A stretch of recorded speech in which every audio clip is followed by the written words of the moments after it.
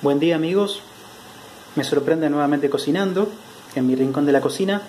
Hoy voy a hacer un pastel y todos van a decir, no, ya hiciste pastel. Bueno, este es un pastel especial porque es un pastel vegetariano, si no va a, llevar, no va a llevar carne.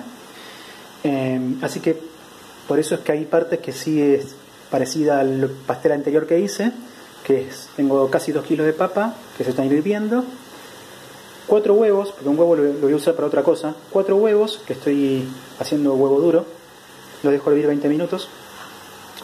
Después hice un caldito, medio litro de agua y un caldito sabor carne, que yo uso este alicante porque sé que es vegano.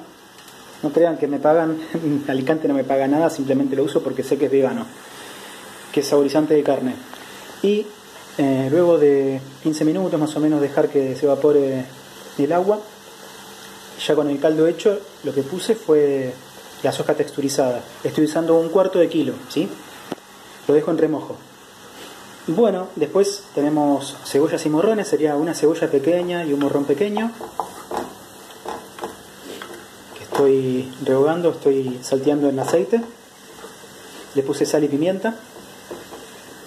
Cuando doró un poco, acá tengo una. Lo que usé es una lata de eh, tomate perita y lo cubeteé, ¿sí? Le voy a poner un poco, no le voy a poner todo porque si no va a ser mucho. Es para que tenga algo más líquido y que el tomate le, le suma mucho en sabor.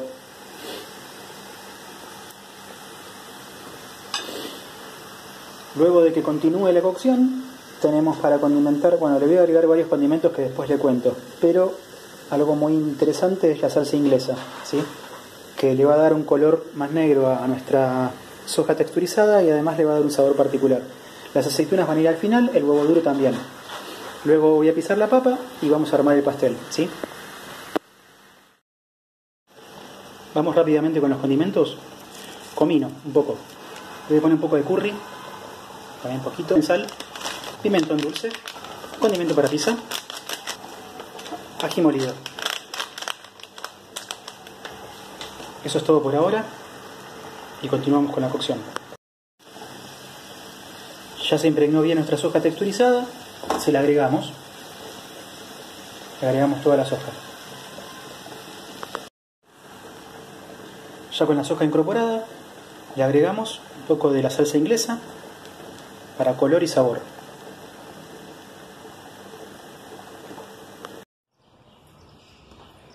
Bueno, ya tenemos el puré hecho, o sea, lo pisé, tenemos el relleno hecho, estamos llegando a la parte final de la preparación, del armado del pastel. Este es el momento de probar el, el relleno. Cuando terminó de saltear, lo que hice fue agregarle los huevos duros y las aceitunas. Pruébenlo, si hay que rectificar sobre pimiento o condimentos. Acá lo que hice fue agregarle un poco de leche de almendra y coco. Es más o menos una taza para dar una mejor textura al puré y le vamos a agregar dos cucharadas de queso Finlandia para darle un mejor sabor.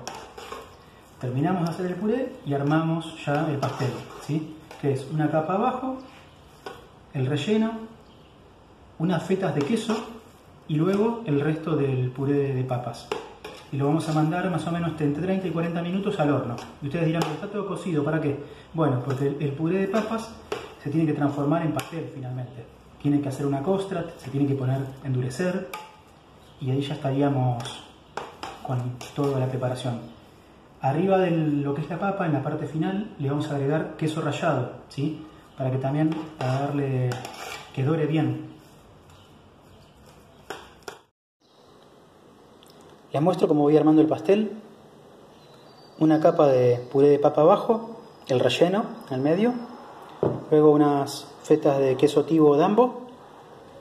Les comento que el relleno que yo utilicé ese mismo relleno lo pueden usar para hacer empanadas o, no sé, pimientos rellenos, eh, calabacitas rellenas, lo que sea, lo que se les ocurra, bueno, ese mismo relleno lo pueden utilizar. Les muestro el pastel ya armado. Lo que hice fue ponerle la otra capa de puré y queso rallado. Esto va al horno media hora, 40 minutos, hasta que el puré esté duro, hasta que forme esa costra y ya esté hecho el pastel. Bien, lo dejé exactamente 40 minutos en el horno. Tenemos la presentación final del plato. Sale perfecto, está bien dorado arriba. Es un super pastel de no carne. Os invito a que lo hagan. Les recuerdo que estamos eh, enviando viandas a domicilio en la zona de Almagro, Ciudad de Buenos Aires. Bueno, si les gustó, like y se pueden suscribir a nuestro canal para futuras recetas.